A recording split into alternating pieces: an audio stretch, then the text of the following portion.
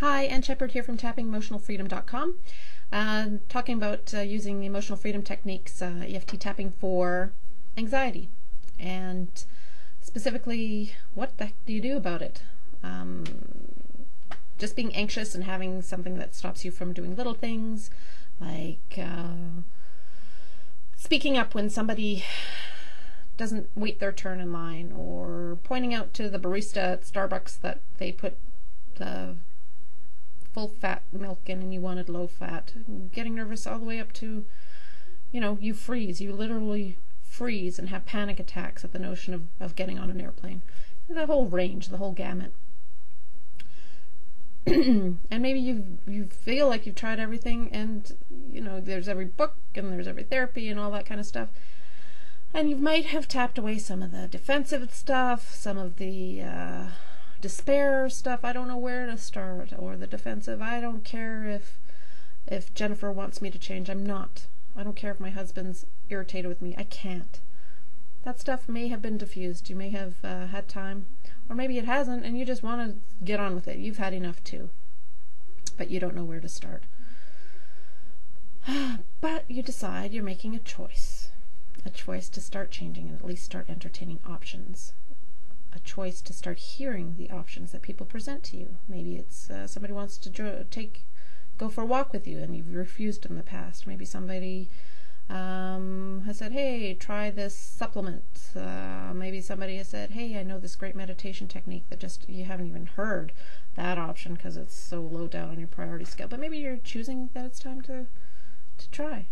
And this is the great choices technique um, that might open the door and be the thin edge of the wedge for things to start moving. Something like, uh, even though I'm so anxious and I just can't do that presentation at work, I know it's time to start getting over it because I'm, I'm limiting my career. And I know it's time to do it. And, and I'm choosing now to talk to my boss about maybe trying to do private presentations one on one at first. I'm choosing to start talking about it with people, even though I really feel like I've tried everything, and maybe I haven't. Maybe I'm cho- uh, I've missed out on another technique for meditation that might help me. I choose to be open to hearing about new options and becoming aware of things that might help me. Even though I really am tired of being anxious, and I don't think it's going to change. I, I'm, I'm choosing, I choose to keep trying. I choose to give it a whirl and see what might be coming up. Even though I may not be ready to change yet, I choose to let the possibility happen soon. I'm choosing to accept the help of friends, or at least try. I choose to go for that walk with Mike. I choose to try that yoga class. I choose to try that free meditation seminar that I saw advertised. I choose to be open to the possibility of getting over my anxiety. I choose to be ready to change. Sometime soon. It might not be yet, but I choose to be open to the possibility that I can change, change sometime soon.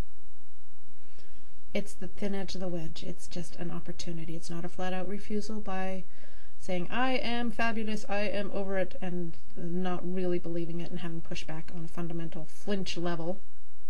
It's just opening up the door to the possibility of change.